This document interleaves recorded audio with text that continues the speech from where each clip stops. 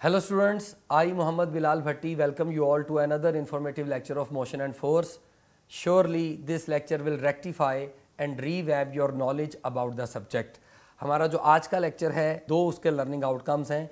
एक force due to water flow और दूसरा मोमेंटम एंड एक्सप्लोजिव फोर्सेस तो आइए शुरुआत करते हैं। कुछ ज़्यादा कॉन्टेंट्स हैं आज के लेक्चर के तो ज़रा सीक्वेंस में चलते हैं। सबसे पहले force due to water flow में सपोज़ कर लें कि एक पाइप है जिसमें वाटर फ्लो कर रहा है और उसने आगे जाकर वॉल से टकराना है।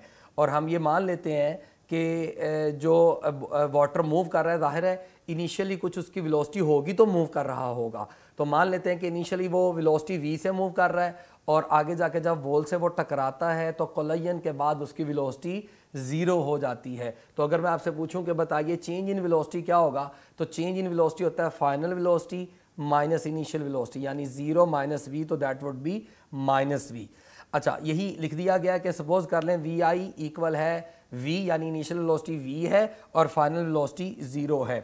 अब सेकंड लॉ ऑफ़ न्यूटन यानी general form of Newton second law के मुताबिक आपने पढ़ा हुआ है कि जो रिजल्टेंट या नेट फोर्स होती है वो change in momentum per unit time के इक्वल होती है। तो अगर हम ये सपोज़ करें तो जो वाटर के, जो वाटर टकरा रहा था, जाके वॉल से उसका मैस एम था, और वो स्ट्राइक किया है टाइम टी में तो जो फोर्स लगेगी उसको एवेलुएट करने के लिए हम फार्मूला लिख लेते हैं, जो कि न्यूटन सेकंड लॉ है इन टर्म्स ऑफ़ मोमेंटम अब अभी बताया आपको कि यहाँ पर जो वी एफ़ है वो ज़ीरो और वी आई वी है तो अगला रिलेशन ये बन जाता है। अगर इसको हम वर्बली लिखना चाहें तो इसको लिखा जा सकता है कि एम ओवर टी को मैं लिख सकता हूँ mass per second into change in velocity इसको ज़्यादा बेहतर है कि लिखा जाता मैस पर यूनिट टाइम इसको लिखा जाता है पर सेकंड के बजाय मैस पर यूनिट टाइम क्योंकि मैस फ़िज़िकल क्वांटिटी है सेकंड यूनिट है।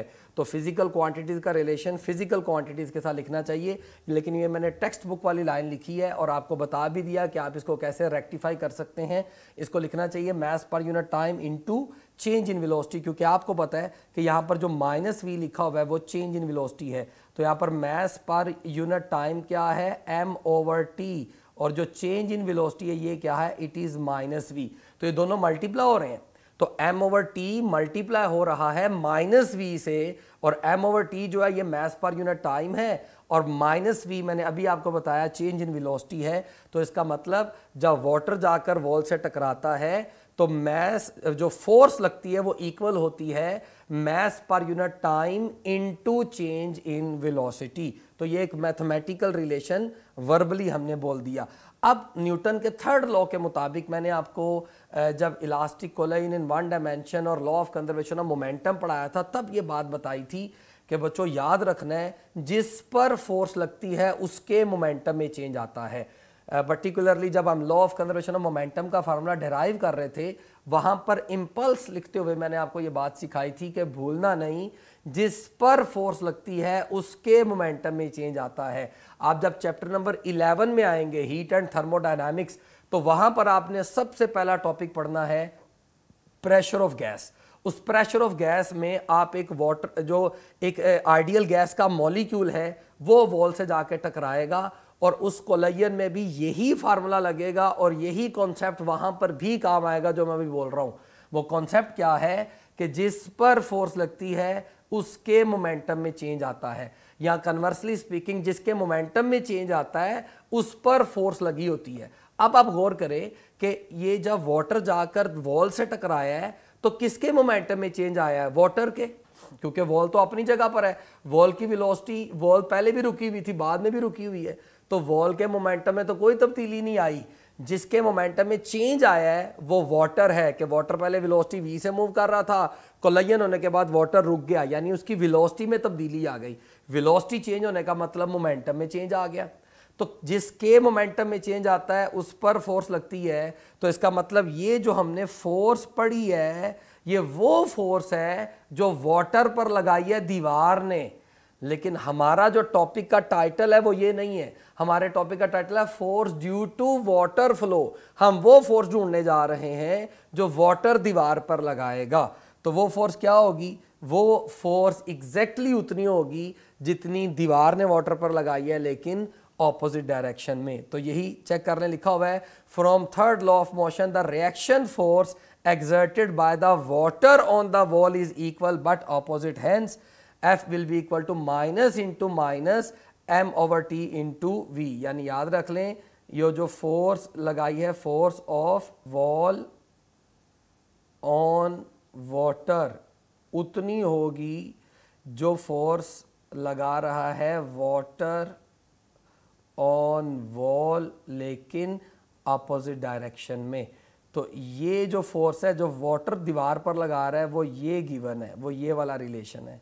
मतलब इस रिलेशन के साथ हमें क्या करना है? ये जो minus M over T into V लिखा हुआ है, इसके साथ ये माइनस वाला साइन लगा देना है। तो हमारे पास जो फाइनल फार्मूला बनेगा, वो बनेगा F is equal to M over T into V तो ये हमारे पास फाइनल फार्मूला बन गया। मैं इरेज करके आपको दिखा देता हूँ, ये फाइनल रिलेशन आ गया। और ये वो फोर्स है जो वाटर ने दीवार पर लगाई है M over T into V तो इसको आप एक एग्ज़ाम्पल से भी समझ सकते हैं। क्योंकि M over T into V का मतलब आप इसको एम वी ओवर टी भी लिख सकते हैं। लेकिन यूजुअली जो force due to water flow होता है, उसमें यूनिट टाइम में आने वाला मैस गिवन होता है। आप इसको ऐसे समझ लें कि जैसे हमारे घर पे जो छत पे टैंक पड़ा होता है, मान लें कि उसमें से हर सेकंड में पाँच किलोग्राम पानी आ रहा है। तो मैं कहूँगा एम ओवर टी इक्वल है फाइव किलोग्राम पर सेकेंड और सपोज़ करें कि ये water three metre per second से मूव कर रहा हो तो सामने जाकर जब वो वॉल से टकराएगा तो कितनी फोर्स लगाएगा। तो इसी तरह की एग्जांपल आपके सामने है कि suppose the water flows out from a pipe at three kilogram per second यानी अगर हर सेकंड में तीन किलोग्राम पानी आ रहा है और उसकी जो वेलोसिटी में चेंज आता है कोलायन के बाद, यानी इनिशियल वेलोसिटी फाइव थी, कोलायन के बाद वेलोसिटी अगर ज़ीरो हो जाए तो फाइव मीटर पर सेकेंड अगर चेंज इन वेलोसिटी हो तो कितनी फोर्स अप्लाई करेगा? That would be three into five minus zero यानी three into five that would be fifteen newton तो यहाँ पर जो थ्री है, ये एम ओवर टी है और यहाँ पर ये फाइनल वेलोसिटी है और ये माइनस का साइन और ये इनिशियल वेलोसिटी है। तो ये M over T into change in velocity equal होता है force due to water flow तो कभी ना भूलें, याद रखें, जो force due to water flow है, वो इक्वल होता है mass per unit time into change in velocity फिर बोल रहा हूँ force due to water flow equal होता है mass per unit time into change in velocity dear students force due to water flow के बाद आइए मोमेंटम और एक्सप्लोजिव फोर्सेस की तरफ़ चलते हैं। ज़रा इसमें कंटेंट थोड़ा ज़्यादा है, जो सबसे पहले शेल एक्सप्लोजन की बात होगी और उसके बाद बात होगी firing of bullet from rifle तो शेल एक्सप्लोजन में जब भी कोई शेल एक्सप्लोड करता है तो वो डिफरेंट फ्रैगमेंट्स में डिफरेंट डायरेक्शन में स्प्लिट हो जाता है। अगर हम उसके टोटल फ्रैगमेंट्स के टोटल मोमेंटम की बात करें तो वो इनिशियल मोमेंटम के इक्वल होना चाहिए according to law of conservation of momentum अगर हम किसी एक्सटर्नल फोर्स की बात ना कर रहे हों तो मतलब अगर हम आइसोलेटेड सिस्टम में हैं तो total momentum before explosion must be equal to total momentum after explosion तो सपोज़ कर लेते हैं कि ये एक और एक बॉम्ब है या एक शेल है जो एक्सप्लोड किया और इसके दो पीसेस बन गए सपोज़ कर लें। पहले पीस का मैस एम वन दूसरे पीस का मैस एम टू और जो बॉम्ब एक्सप्लोड किया है, जो शेल एक्सप्लोड किया है, उसका इनिशियल जो वेलोसिटी थी बिफोर कोलयन और आफ्टर कोलयन तो पीसीज आपको नज़र आ रहे हैं, जो बिफोर कोलयन, जो कैपिटल एम जो ओरिजिनल शेल की वेलोसिटी थी, मान लें वो कैपिटल वी थी, और जो M1 और M2 इन दोनों की वेलोसिटीज़ एक्सप्लोड होने के बाद होती हैं, वो V1 और V2 होती हैं। सपोज़ कर लें, जैसा कि आपको डायग्राम में दिखाया गया है। तो डायग्राम को मैं एक दफ़ा दोबारा बोल देता हूँ, जो शेल था, जिसका mass capital M big M है उसका जो, उसकी जो वेलोसिटी थी, वो कैपिटल वी थी। और अगर ये शेल दो हिस्सों में डिवाइड होता है तो M1 की वेलोसिटी V1 है और M2 की वेलोसिटी मान लें V2 है। और आप जानते हैं कि जिधर को वेलोसिटी होती है, उधर को ही मोमेंटम होता है। तो मैं ऐसे भी कह सकता हूँ कि जो, जिसकी वेलोसिटी कैपिटल V है, मान लें कि इसका मोमेंटम P है। और जो M1 है, जिधर को वेलोसिटी उधर को मोमेंटम होने का मतलब तो M1 का मोमेंटम P1 है। और M2 का मोमेंटम P2 है।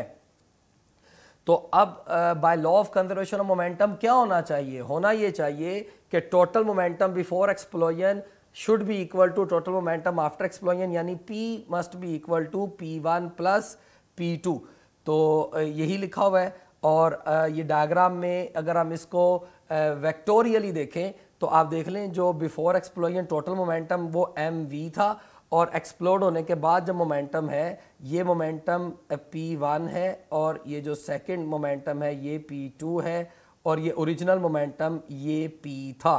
और अब किया गया गया इस डायग्राम में? इस डायग्राम में इनको पैरेललोग्राम मेथड से ऐड कर दिया गया है। अब यहाँ पर एक छोटी सी बात मैं आपको सिखाता चलूँ। आपने वेक्टर्स को ऐड करते हुए चैप्टर नंबर टू में हेड टू टेल रूल पढ़ा हुआ है। आप जानते हैं कि अगर दो या दो से ज़्यादा वेक्टर्स को ऐड करना हो तो हेड से टेल मिलाते जाते हैं। और ऐसा वेक्टर जिसकी पहले वेक्टर से टेल और आखिरी से हेड मिला होता है, हम उसे रिजल्टेंट वेक्टर बोलते हैं। अब बच्चों, दो वेक्टर्स को ऐड करने का एक और रूल है, जिसको parallelogram method of vector addition कहा जाता है। इस रूल के मुताबिक जिन दो वेक्टर्स को ऐड करना हो, उनकी टेल से टेल मिला देते हैं। आप चेक कर लें, ये P1 और P2 की टेल से टेल मिला दी। इसके बाद हम ये पैरेललोग्राम कंप्लीट करते हैं, ये डॉटेड लाइन में, ये पैरेललोग्राम कंप्लीट की। ऐसा वेक्टर जो टेल से निकले और सामने वाले वर्टेक्स को टच करे, वो रिजल्टेंट वेक्टर होता है। तो ये रहा रिजल्टेंट वेक्टर यकीनन आप सोच रहे होंगे, सर, क्या इनको हेड टू टेल रूल से ऐड नहीं कर सकते? बिल्कुल कर सकते हैं, इनको हेड टू टेल रूल से भी ऐड कर सकते हैं। हेड टू टेल से ऐड करेंगे तो रिजल्टेंट अगेन यही आएगा। यानी आप चेक कर लें, अगर मैं इस P1 को और इस P2 टू टू को हेड टू टेल रूल से ऐड करूँ तो जो रिजल्टेंट होगा वो ये होगा। आप देखें, ये P1 है, मैंने P1 के हेड को P2 की टेल से मिला दिया। और रिजल्टेंट क्या होता है, जिसका पहले वेक्टर से टेल और आखिरी से हेड मिला होता है, ये रिजल्टेंट है। आप दे सकते हैं, ये रिजल्टेंट और ये रिजल्टेंट दोनों सेम है। इन दोनों की लेंथ यानी मैग्नीट्यूड भी सेम है डायरेक्शन भी सेम है। लेकिन हमारी टेक्स्ट बुक में यहाँ पर शेल एक्सप्लोजन में मोमेंटा यानी वेक्टर्स को मोमेंटम के वेक्टर्स को पैरेललोग्राम मेथड से ऐड किया है। तो मैंने आपको वो भी सिखा दिया और मैंने वेरीफाई भी कर दिया कि अगर आप इनको हेड टू टेल रूल से भी ऐड करते तो रिजल्टेंट वही आना था। तो टेक्स्ट बुक को भी फॉलो कर लिया और आपका जो एग्जिस्टिंग कॉन्सेप्ट हैं, उनको भी ख़राब नहीं होने दिया।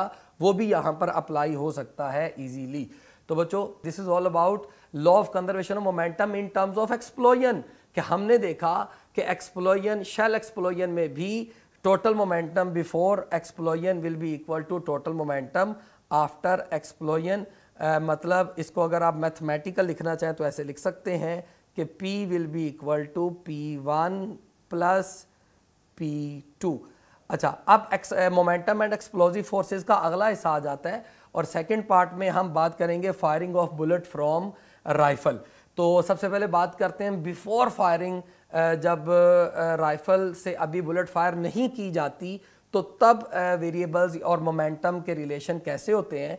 तो उसको थ्योरेटिकली मैं लिखता हूँ कि मान लें कि हमारा सिस्टम है जिसमें गन और बुलेट मौजूद है। अब हम अगर किसी एक्सटर्नल फोर्स की बात नहीं कर रहे तो इसका मतलब हमारा सिस्टम आइसोलेटेड सिस्टम है, क्योंकि हमने ग्रेविटी को भी इग्नोर किया हुआ है और एयर रेजिस्टेंस को भी इग्नोर किया हुआ है। अब जो गन और बुलेट अभी फायर नहीं हुआ तो दोनों रेस्ट पर है। तो दोनों के रेस्ट पर होने का मतलब ये हुआ कि बुलेट की वेलोसिटी भी ज़ीरो और गन या राइफल की वेलोसिटी भी ज़ीरो तो अगर वेलोसिटी ज़ीरो तो इसका मतलब पूरे सिस्टम का मोमेंटम क्या होगा? ज़ीरो तो पूरे सिस्टम का मोमेंटम ज़ीरो है, यानी पी गन प्लस बुलेट आप इसको अगर एन लार्ज करके लिखें तो पी गन प्लस बुलेट ये सबस्क्रिप्ट में लिखा जा रहा है इज़ इक्वल टू ज़ीरो तो पूरे सिस्टम का मोमेंटम ज़ीरो है। अब आप जानते हैं by law of conservation of momentum अगर सिस्टम का मोमेंटम फायर होने से पहले ज़ीरो है तो फिर फायर होने के बाद भी होना चाहिए ज़ीरो। तो आइए इसी बात को आगे लेके चलते हैं। आफ्टर फायरिंग में जब बुलेट को फायर किया जाता है तो आप जानते हैं कि जो और डायग्राम में दिखाया भी गया है कि जो बुलेट है, मान लें वो राइट साइड पर चल रही है तो जो बुलेट की वेलोसिटी होगी वो टुवर्ड्स राइट होगी। इसका मतलब है कि जो बुलेट का मोमेंटम है वो टुवर्ड्स राइट होगा, क्योंकि जिस डायरेक्शन में वेलोसिटी होती है, उसी डायरेक्शन में मोमेंटम होता है। जबकि टोटल मोमेंटम अब ज़ीरो होना चाहिए आफ्टर फायर भी। अब total momentum after fire zero होना कैसे मुमकिन है? ये ऐसे मुमकिन है कि गन का मोमेंटम उतना ही हो जितना बुलेट का है, लेकिन ऑपोजिट डायरेक्शन में। ताकि आप उनको ऐड करें तो जवाब ज़ीरो आ जाए। ये बड़ी इंटरेस्टिंग बात है। प्रॉब्लम सॉल्विंग में बड़ी काम आती है। मैं दोबारा बोलता हूँ ये समझने का अंदाज है कि अगर before fire total momentum zero था, अब आफ्टर फायर भी टोटल मोमेंटम ज़ीरो होना चाहिए। ये कैसे मुमकिन है? ये ऐसे मुमकिन है कि आप सपोज़ कर लें कि जो बुलेट है वो राइट साइड पर जा रही है जब फायर हुआ तो बुलेट का मोमेंटम होगा राइट मान लें, वो मोमेंटम है हंड्रेड अब total momentum after fire zero होना कैसे मुमकिन है? जब गन का मोमेंटम हो माइनस हंड्रेड ताकि आप उनको ऐड करें जो आप ज़ीरो हो जाए। यही पॉइंट मैंने लिखा है। Since there was zero total momentum in the system before the gun was fired there must be zero total momentum now. This means that the gun must have an equal and opposite momentum to the left जो कभी मैंने आपको बताया। लिहाजा अगर हम इसको mathematical लिखें तो P gun must be equal to P bullet लेकिन ऑपोजिट डायरेक्शन में। अब यहाँ पर आप जो नोटिस करने वाली बात है, वो मैंने लिख दी और बोल भी दी कि even though the momenta of the gun and bullet are equal the resulting velocities are not equal क्योंकि मोमेंटम में तो मैस भी इन्वॉल्व होता है। The bullet has small mass so it gets a large velocity the gun has a large mass so it gets a small velocity आप इसको आसान words में ऐसे अंडरस्टैंड करें कि यहाँ पर हमें लॉ ऑफ़ कंजर्वेशन मोमेंटम तो हमने अप्लाई कर लिया है कि टोटल मोमेंटम अगर बिफोर फायर ज़ीरो था आफ्टर फायर भी ज़ीरो होगा और वो कैसे होगा, ये बात तो हम समझ गए कि वो कैसे ज़ीरो होगा। लेकिन अगली इंटरेस्टिंग सीखने वाली बात ये है कि अगर बुलेट का मोमेंटम और गन का मोमेंटम इक्वल है तो आप जरा सोचें, ये कैसे इक्वल हो सकता है? और भाई, ये ऐसे इक्वल हो सकता है कि गन का मैस बहुत ज़्यादा वेलोसिटी कम होगी। अब मान लें गन का मैस है ट्वेंटी तो वेलोसिटी होगी फाइव ताकि आप मल्टीप्लाई करें ट्वेंटी फाइव आर हंड्रेड जबकि जो बुलेट का मैस है, वो है फाइव तो वेलोसिटी होगी ट्वेंटी क्योंकि five into twenty is equal to hundred तो अगर मोमेंटम इक्वल है तो इसका मतलब हर हरगिज ये नहीं होता कि वेलोसिटीज इक्वल है या मैस इक्वल है। मोमेंटम इक्वल है, इसका मतलब प्रोडक्ट ऑफ़ मैस और वेलोसिटी इक्वल है। तो यही पॉइंट मैंने आपसे शेयर किया और यही पॉइंट आप इस डायग्राम या एनिमेशन में भी देख सकते हैं कि आपके सामने है एनिमेशन में जो जो बुलेट का मैस, बुलेट का मोमेंटम वो राइट साइड पर आपको नज़र आ रहा है, ये देखें, और जो गन का मोमेंटम है वो लेफ़्ट लेफ़्ट साइड पर है। और आप देख लें, मैंने बुलेट का मैस छोटा और उसकी वेलोसिटी बड़ी शो की है। जबकि जो गन का मोमेंटम है, वो मैंने कैपिटल एम और स्मॉल वी लिखा है, क्योंकि गन का मैस ज़्यादा और वेलोसिटी कम है। तो दोनों का प्रोडक्ट सेम होगा, यानी बुलेट के लिए स्मॉल एम और बिग वी इक्वल होगा गन के लिए एल्डर एम और यंगर वी यानी एम दोनों का मोमेंटम इक्वल है, लेकिन गन की विलोस्टी गन की विलोसिटी कम है, जबकि मैस ज़्यादा है और बुलेट की विलोसिटी ज़्यादा है मैस कम है। तो बच्चों, ये जो गन की अपोजिट डायरेक्शन में वेलोसिटी होती है, इसको रिक्वाइल वेलोसिटी भी कहा जाता है। मैथमेटिकल रिलेशन भी आपके सामने लिख दिया गया। In terms of mass and velocity ये वाला रिलेशन और अगर मैं इसको रीअरेंज करूँ for the recoil velocity of gun तो फार्मूला बनता है minus M bullet into velocity of bullet upon mass of gun तो ये फाइनल फार्मूला हमें क्या शो करता है? यहाँ पर ये अगर मैं वेक्टर क्वांटिटी और ये वेक्टर क्वांटिटी लगा, लगाऊँ तो अगर किसी इक्वेशन में लेफ़्ट हैंड साइड और राइट हैंड साइड पर वेक्टर क्वांटिटी हो और बीच में माइनस का साइन हो तो इसका मतलब होता है कि अपोजिट डायरेक्शन यानी मैथमेटिकल फार्मूला भी वही वेरीफाई कर रहा है, जो हमने प्रैक्टिकली ये डायग्राम में भी आपने देखा एनिमेशन में भी, और जो प्रैक्टिकली भी आप सोचते हैं कि जब बुलेट को फायर किया जाता है गन से तो जो गन है, वो ज़रा सी रिकॉयल करती है मैथमेटिकल फार्मूला इसको वेरीफाई कर रहा है। अब यहाँ पर मैं एक और इंटरेस्टिंग बात आपको बताऊँ कि अगर आप चाहें कि जो रिकॉयल विलोसिटी है, ये कम से कम हो तो ये कैसे मुमकिन है? अगर आप मैथमेटिकल फार्मूला देखें तो ये ऐसे मुमकिन है, तीन पैरामीटर्स हैं कि जिसके ज़रिए आप ये कर सकते हैं। पहला, कि आप न्यूमिनेटर्स को काम करें डिनोमिनेटर को ज़्यादा करें। यानी आप बुलेट की वेलोसिटी काम करें और गन का मैच ज़्यादा करें। मतलब अगर आप चाहें कि रिकॉयल वेलोसिटी कम से कम हो तो तीन तरीके हैं। न्यूमिरेटर को काम करें। न्यूमिरेटर को काम करने का मतलब जो बटे के ऊपर आ रहा है, वो छोटी वैल्यू हो। यानी मैथ छोटा हो वेलोसिटी कम हो गन उसकी बुलेट की, और डिनोमिनेटर ज़्यादा करें, यानी गन का मैथ बढ़ा दें। तो हम इन प्रैक्टिस ये काम कैसे करते हैं? हम गन का मैस बहुत ज़्यादा कर देते हैं, और बुलेट का मैथ बहुत छोटा रखते हैं। इससे क्या फ़ायदा होगा? इससे रिकॉयल कम हो जाएगा। हम वेलोसिटी ऑफ़ बुलेट को कम नहीं कर पाते क्योंकि अगर बुलेट की वेलोसिटी कम कर दी तो फिर मकसद ही फोत हो जाएगा। जिस मकसद के लिए गन बनाई जाती है फिर वो मकसद पूरा नहीं हो पाएगा। तो इन प्रैक्टिस इस मैथमेटिकल फार्मूले को देखते हुए रिकॉयल को डिक्रीज किया जाता है by decreasing mass of bullet and by increasing mass of gun तो डियर uh, स्टूडेंट्स इसके बाद आ, हम असाइनमेंट की तरफ़ चलते हैं। असाइनमेंट में एक एमसीक्यू है। यही firing of bullet from rifle जैसा एक एमसीक्यू मैंने आपकी खिदमत में रखा कि एक कैनन से एक फायर किया गया है। जो कैनन बॉल है वो मूव कर रहा है और कैनन यकीनन रिकॉयल करेगी। मैस ऑफ़ कैनन गिवन है और बॉल का मैस भी गिवन है। आप देख सकते हैं कैनन का मैस 1000 थाउज़ेंड के जी और जो बॉल है उसका मैस है टेन के जी और रिकॉयल वेलोसिटी अगर कैनन की फाइव मीटर पर सेकेंड हो तो पूछा जा रहा है what would be horizontal velocity of cannon ball और ऑप्शन है 200 मीटर पर सेकेंड 500 मीटर पर सेकेंड 2000 मीटर पर सेकेंड एंड 5000 मीटर पर सेकेंड मुझे बड़ी उम्मीद है कि ये क्वेश्चन गौर से सुनने वाले तमाम स्टूडेंट्स का इन करेक्ट होगा। मुझे ज़रूर कमेंट्स में इसका आंसर बताइए। इन असाइनमेंट वाले लेक्चर में हम इसको सॉल्व भी करेंगे। आज इसको यहीं पर कंक्लूड करता हूँ। इन जो हमारा नेक्स्ट लेक्चर आ रहा है, उसमें हम प्रोजेक्टाइल मोशन स्टार्ट करेंगे। तब तक के लिए अल्लाह निगेबान।